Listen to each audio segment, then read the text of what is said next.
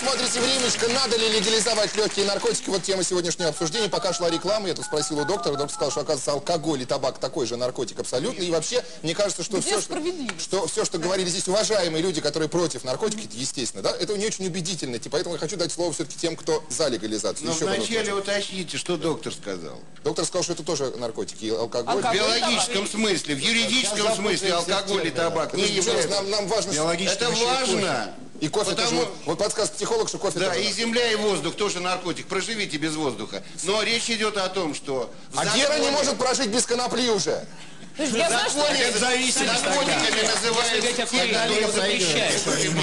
ограничивать. послушайте, вас больше, вы э, чаще выступаете на телевидении, чем те люди, которые пришли, чтобы вот ту э, мысль, как у я сделать. Поэтому, пожалуйста, говорите.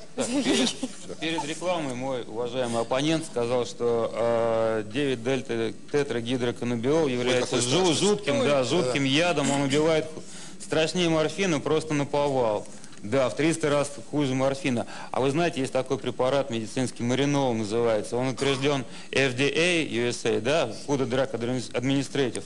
Продается, очень используется хорошо. Ну, не рекламируйте только препараты. Нет, а он не, не- не зарегистрирован у нас в России, вы его не купите, я его не видел, в руках не держал, но он 10 лет назад, существует. благодаря трем миллиардам Сороса в двух штатах Соединенных, э, Каких? э, в Аризоне и в... э, Да, в, в Да, Техасе. ну понятно. Да нет, ну. Голливуд где? Ага, Голливуд, там, Была легализована марихуана. Да. Через полгода федеральные службы аннулировали этот закон. Не случайно Вы Сороса выгнали из России. Господа, давайте послушаем зрителя, прошу. Давайте Вы послушаем знаете зрителя Женечка. Простите за ожидание. А, я совершенно трезв. А, Говорите, пожалуйста. Здравствуйте, очень приятно вас видеть и слышать. Хочу сказать следующее. Мне 30 лет, я мать двух детей. Абсолютно за легализацию марихуаны. Объясню почему. Почему? Первое, это то, что люди не агрессивны после конкретно, я говорю про траву. Так. Люди после нее не агрессивны. Я не слышала ни разу того, чтобы кого-то убили на этой почве, избили или еще что-то. Вы сами Второй курили? вопрос. Что? Ну, бред какой-то. Подождите, вы сами курили? Пожалуйста, женщина, дайте, дайте слово. Пожалуйста, Женя, Боюсь, что вам больше не дадут Пожалуйста, сказать. пожалуйста. В микрофон скажите, вас Ну, вы слышали, да? Микрофон скажите, пожалуйста. Разве так можно вообще? Разве жизнь не, не прекрасна без э, этих марихуаны? Нет, ну что? Видимо, нет. для кого-то Вообще она не имеет права не поспоришь. не знает о преступлениях, которые совершаются на почве Они- Ой, знаете, не поспоришь. знаете, по статистике преступлений Ее практически можно только уважать за вот за то, что он сейчас сказал. А вот одну секундочку. еще один. Вот Очень а, серьезный вопрос к Александру Викторовичу. Его задает а, Виктор Иванович, если не ошибаюсь. Виктор Иванович. Добрый вечер. А это вот к вам, пожалуйста, Александр Викторович. Э, Вы знаете, вот э, несколько вопросов одновременно в одну точку. Нет, один только, пожалуйста. Какой-нибудь важный. Смысл каких-либо мер, если практически все население не доверяет правоохранительным органам, а многие их представители просто крушуют криминал. И второе, Вот. какой смысл... Алло, Да-да-да. какой смысл, вот непосредственно я сейчас вижу депутаты Госдумы, к ним обращаюсь, какой смысл, почему не применяются, не принимаются законы, которые защищают не курящих, а все время мы говорим о том, какой вред курения для курящих. Понятно, пожалуйста, Александр. Вот в этом Значит, проблема. что касается правоохранительных органов, я Крышуют, честно крышуют. скажу, что, ну, это не секрет, я думаю, что коррупция совершенно стра- страшно разъела нашу правоохранительную систему. И здесь надо говорить комплексно о проблеме коррупции, да? Почему такая, такая вещь происходит? Да, происходит, это ужасно и страшно. И потому, в том числе, что принимаем коррупционные законы, потому что не ре- э, делаем ре- реальную реформу на новой кадровой основе органов внутренних дел и так далее. Что, что касается э, вреда курения, я скажу честно, курение приносит вред не только курящим, но и не курящим.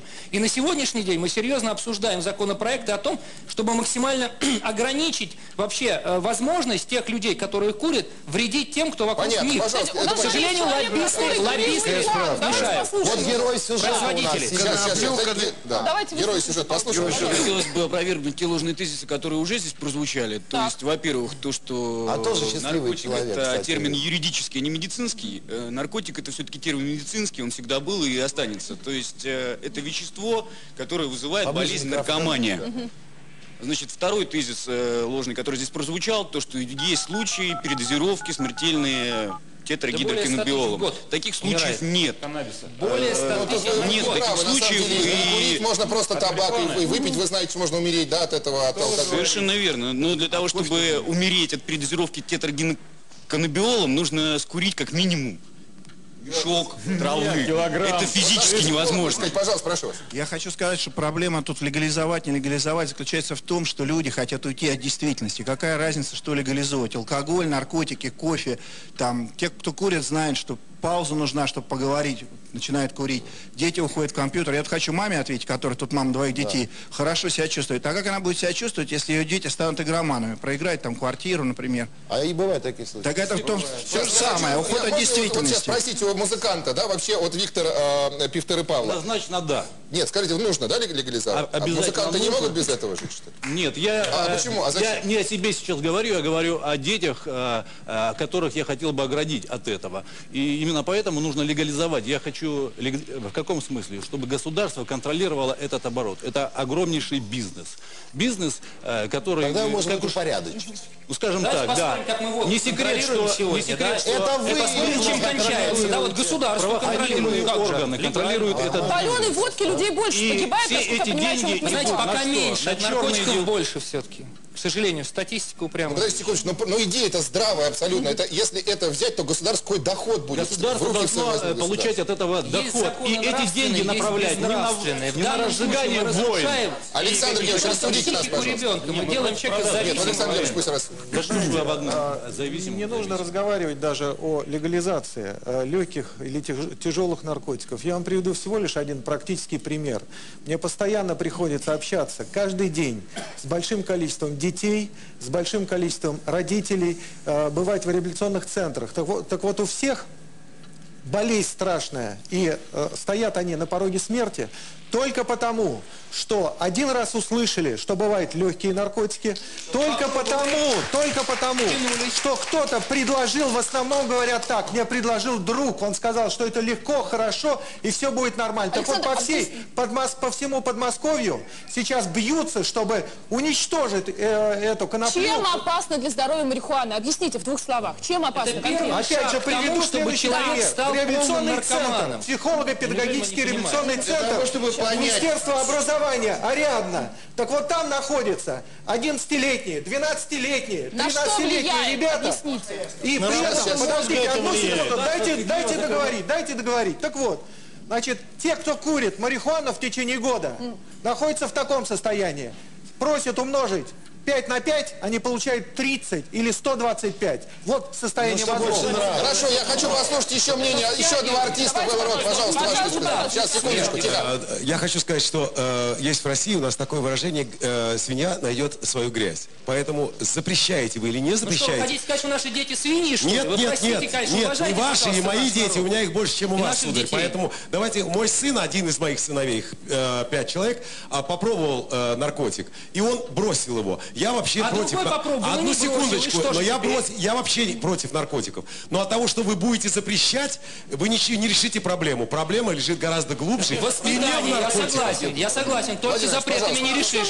Нужно воспитывать, вопрос. нужно разъяснять, естественно, Владимир Иванович, сейчас, одну секундочку, Владимир Иванович говорит. Так, Был задан вопрос. Чем вредна марихуана? Да. Посмотрите в жизни, лучше не в фильме. Как ведет себя человек под воздействием марихуаны? Не показывайте руками. Он ведет себя как сумасшедший. В чем это выражается? Это выражается в том, что две девочки в Балашихе Посмотрите прыгнули с, прыгнули с 13 этажа в этом сумасшествии. Полгода искали, почему они прыгнули. Таких девочек в России в день по 50. И только из-за Нарушает- марихуаны они Марихуана, нарушается Только- ясное сознание, ориентировка, Не-не-не. понимание Нет, того, нет, что нет, с нет. ними происходит, иногда галлюцинации. Вопрос запрета или доступности. Когда доступность это можно будет контролировать. Нельзя Ну, это правовой Я ответил на ваш вопрос. Я вот один мужчина ни разу не говорил, дайте ему слово, прошу вас, говорите, вот седой мужчина, прошу вас. Коротко. Я постараюсь коротко. Значит, термин медицинский, не медицинский, дело не в этом. Я хочу конкретный пример передать. Запад нам не указ. Я против категорически марихуаны и тем более с ними все с и т.д. Я маленький пример приведу. В 1971 году, когда в Советском Союзе понятия в стране нет наркомании, я лично столкнулся из 140 из 145 человек роты охраны боевого подразделения, 125 человек оказались наркоманами. По воле... Тогда, когда у нас было все Да что запрещено, так что... Жень, вы на глаза, мы чуть не посидели, с ума посходили. Как это нас заминать, зам- заминали, не замяли.